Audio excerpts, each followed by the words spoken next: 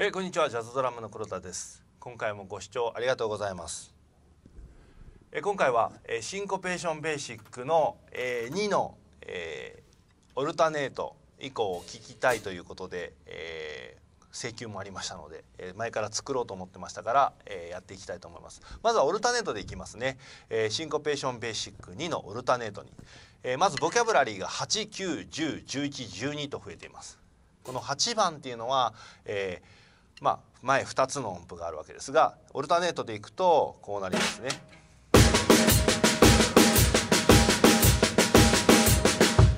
でここ 8S になってますがこの 8S っていうのは音がショートになっているというふうに僕たちは考えています。なのでセクションの時はこれは8の場合はなんですがセクション 8S の場合はで選ぶことが多いですが、えースネアでこうやって叩く場合には同じになりますのでリズムは同じ位置にあるので同じ8番として僕は使っています。次は9番ですね。9番は左左になります。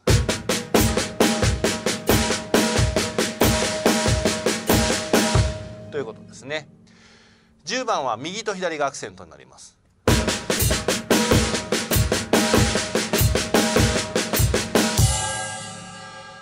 11番は右左ですね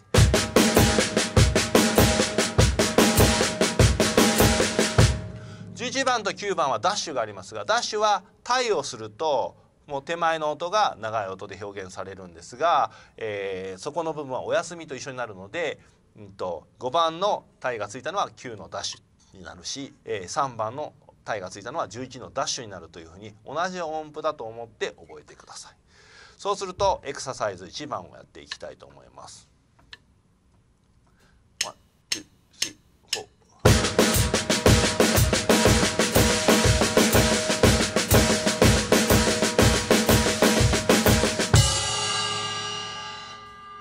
エクササイズ2 1 2 3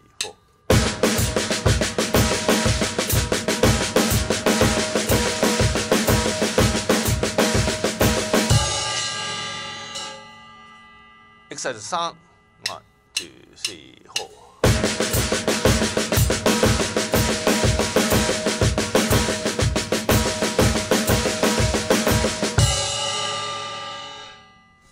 エクササイズ4ワンツースリーフォー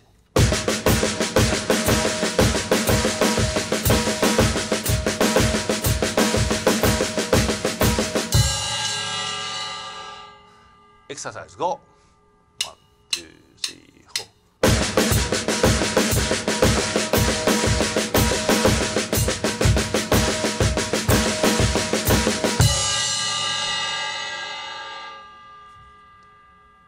コペーションベーシックの3のオルタネート読みをやっていきたいと思います。え新しいボキャブラリーがえ4つ増えています。えしかもダッシュとかショー S とかがいっぱい出てくるんですがまあ基本はスネアで叩く分には全部一緒です、えーまずですねスネアで叩く分には、えー12番の音符は、えー、ツツタツツということですね。タイがかかって12番になるものは12のダッシュ。で真ん中の音符が短い音符で表現しているものは12のショート、えー、12のショートを、えー、タイがついて形になるものは12のダッシュというふうになっています。13番はちょっとややこしいですがアクセントがちゃんとこの高さに来てノーアクセントは7センチ以内に収まるように練習してください。13も13のダッシュが。4番に体がかかると13番になります、えー、13番ちょっと早めに。13番叩くと。だけどちょっとだけどちょっと僕もっていこうのあの感じになりますね。14番いきます。14番は右手になります。これもタイがついて、えー、8番の音符にタイがついて14のダッシュになってます。ショートの場合は、えー、14の S、えー、14の S ダッシュになっております。15番はこれ左になるんですね。だから14と15は3ストロークだと両方裏側から左になるんですがオルタネートだと交互に逆転しちゃうんですね。逆転するのちょっと難しいです。15番やってみます。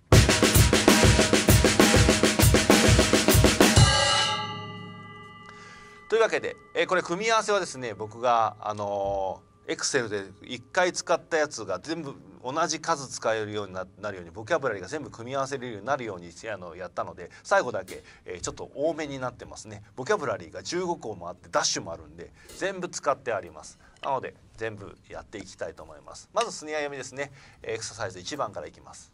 1 2 3 4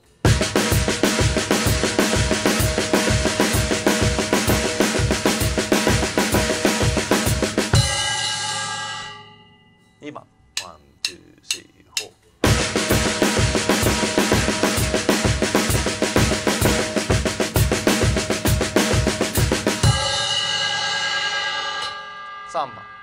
ツー、スリー、フォー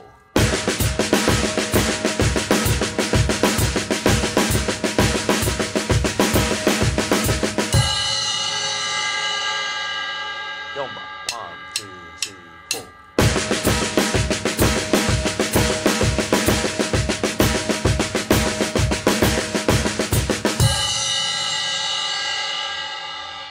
番ワン、ツー、スリー、フォ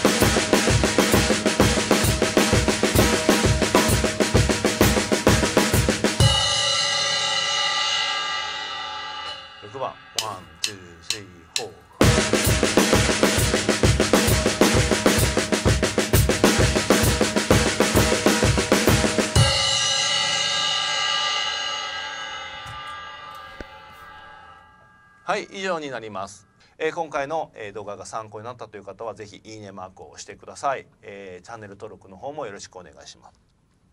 えーこういったジャズのコツとかを、まあ、メルマガの読者さんとやり取りしつつ、えー質問があったやつを、まあえー、と動画で返す場合もありますがこういう話しましたよっていうのを書いたようなメルマガをお送りしております、えー無料で、えー教材なんかもどんどん送られてくるようなそんな、えーお得なメルマガですのでよければメルマガ登録詳細の欄から申し込みしてみてください。以上です。ありがとうございました。